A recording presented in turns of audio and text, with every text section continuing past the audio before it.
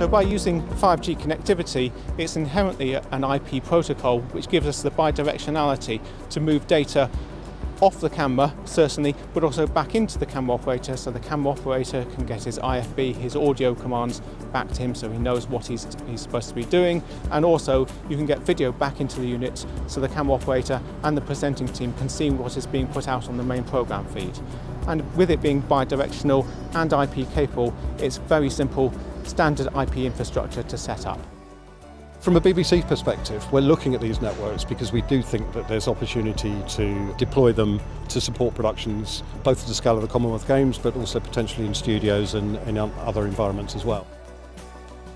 We're using a vehicle which was built and designed by our emergency services network for deployment across the country, providing coverage in really hard to reach places.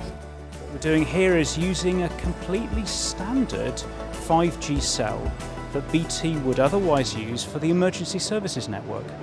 And because of the power of BT, we're able to bring that resource and redeploy it for a different purpose, which is to enable the BBC to carry the television footage on Wednesday, a really crowded place full of people using their mobiles.